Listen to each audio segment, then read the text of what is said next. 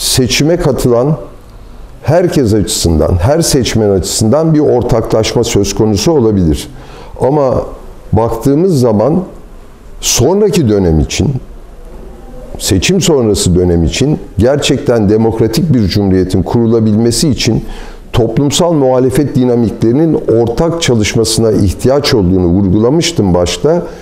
Bunun için Emek ve Özgürlük İttifakı'na HDP tarafından oluşturulan ve bugün e, Yeşil Sol'la seçime girme durumunda olan bu ittifaka seçmenin teveccüh etmesi lazım. Halkın buraya doğru yönelmesini sağlamamız lazım. Yani dar anlamda baktığımızda iki hedef var aslında. Birincisi iktidarı göndermek, tek adam rejimini değiştirmek. İkincisi de faşizm kurumsallaştı bu 20 senede. Bunu yıkmak ve demokratik cumhuriyete doğru adım atmaya başlamak. Bunu gerçekleştirebilirsek gerçekten seçim stratejisi açısından üç hedefe de ulaşmış oluruz. Toplumsal örgütlenmeyi sağlamış olabiliriz. Erdoğan'a güle güle demiş olabiliriz ve demokratik cumhuriyetin kurulması yolunda ciddi bir adım atmış olabiliriz. E, bu aşamada hemen gerçekleşebilir bir şey değil. Ama bu aşamada Erdoğan'ın gönderilmesi ve sonrasındaki süreçte toplumsal yığınağın yapılması demokratik cumhuriyet yönünde çok önemli bir adım. Çünkü demokratik cumhuriyet vazgeçilmez bir şey. Türkiye'nin en önemli sorunlarını arka alt alta sıralasak, Kürt sorunu desek, ekonomik sorunlar desek, bölgesel sorunları desek bu ülkenin, emekçilerin sorunları desek, hepsini böyle yazıyor olsak bunları çözebilmenin yolu demokratik cumhuriyeti kurmaktan geçiyor. Temsili demokrasi artık sınırlarına dayanmış vaziyette ve yerinden ve yerelden yönetimlerle oluşturulacak, insanların katılımını sağlayacak bir demokratik cumhuriyete ihtiyaç var.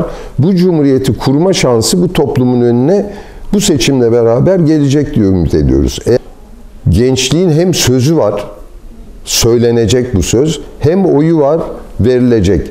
Gençlik içerisinde zaman zaman sandığa gitmeme eğilimleri olduğunu görüyoruz. Seçim stratejimizin önemli ayaklarından bir tanesi onların kazanılmasıdır.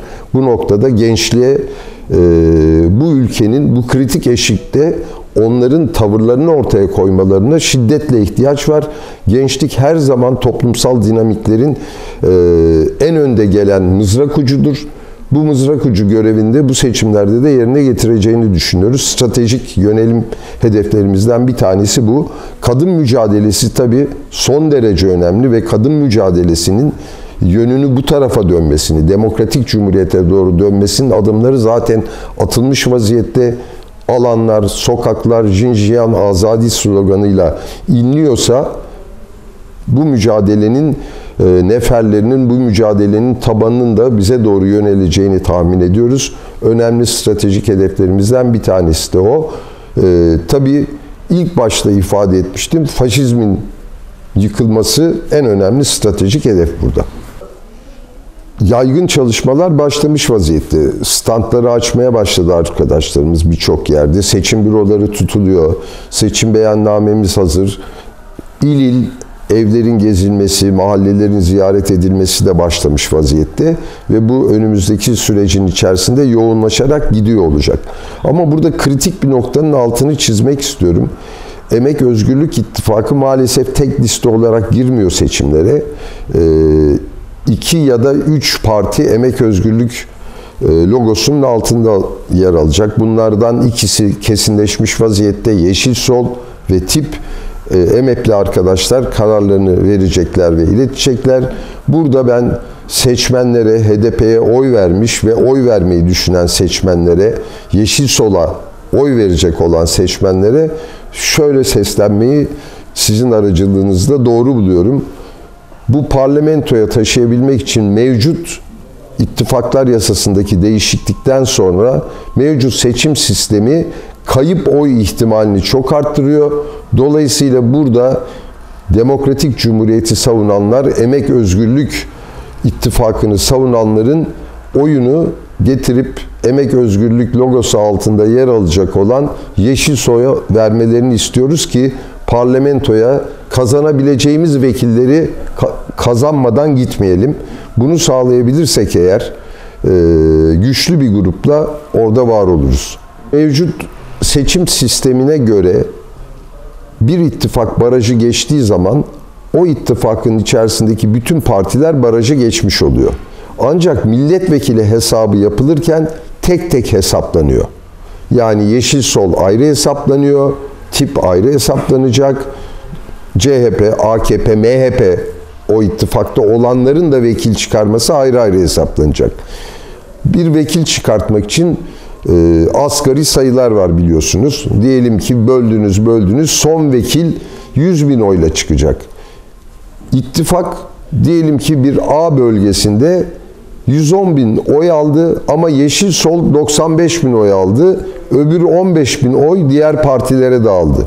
O zaman 110 bin oyumuz birden çöpe gidiyor.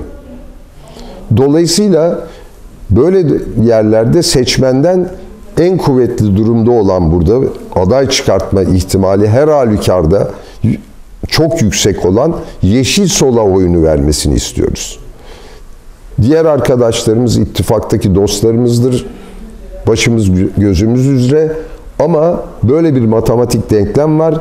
Dolayısıyla burada seçmenin yeşil sola doğrudan oy vermesi, oylarını dağıtmaması, tam tersine tek noktada toplaması bizim başaramadığımız tek liste altında seçime girmeyi seçmenin fiilen gerçekleştirmesi gerekiyor. Çözüm önerilerine dair e, yakında seçim beyannamesi yayınlanacak. Orada çok kapsamlı öneriler yer alıyor ama genel olarak baktığımız zaman Türkiye'de bütün halklar için eşitliğin, özgürlüğün, demokrasinin olduğu, emekçiler için e, sendikal haklarının özgürce kullanılabildiği, gençler için kendilerini özgürce var edebildikleri, söz hakkının olduğu bir e, topluma doğru vaatlerimiz var. Bunun içerisinde şunu söyleyebilirim, bizim kullandığımız dört adalet diye bir kavram var. Söz adaleti, ekmek adaleti yani iktisati adalet, doğanın adaleti, e, kimlik adaleti gibi belli noktalarda bu adalet mahkemedeki yargıdan bahsetmiyoruz tabii ki eşitlik ve özgürlük temelinde şekillenmiş bir adaleti kastediyoruz. Bu açıdan vaatlerimizin tamamını bu yer alıyor. Biz Türkiye'de doğanın haklarına saygılı, ekoloji tahribatı durduran demokratik bir cumhuriyete doğru e, bir program hazırladık. Beyannamemizde yer alacak olan hususlar bunları içeriyor. Ama Mesela örnek istiyorsanız hemen söyleyeyim. İstanbul Sözleşmesi'ne geriye dönülmesi taleplerden bir tanesidir. Sendikal hakların genişletilmesi taleplerden bir tanesidir. Ee, genç işçilerle ilgili olarak onların ücretlerinden kesilmeksizin mesleki gelişiminin sağlanması bu taleplerden bir tanesidir.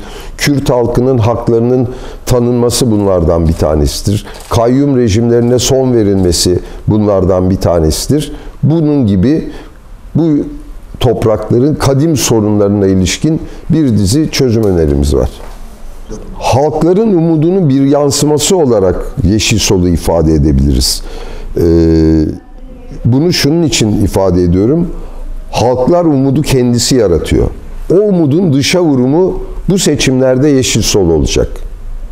Baktığımız zaman tarihimizde mücadele eden insanlar sürekli olarak HDP geleneğine bakalım kaçıncı parti olduğunu görüyoruz. Dolayısıyla bir isim ya da bir parti tek başına umut değil, aslında toplumsal mücadelenin ve toplumsal umudun dışa vurumu, yansımasıdır. Bu seçimlerde bu umudun temsilcisi Yeşil Sol.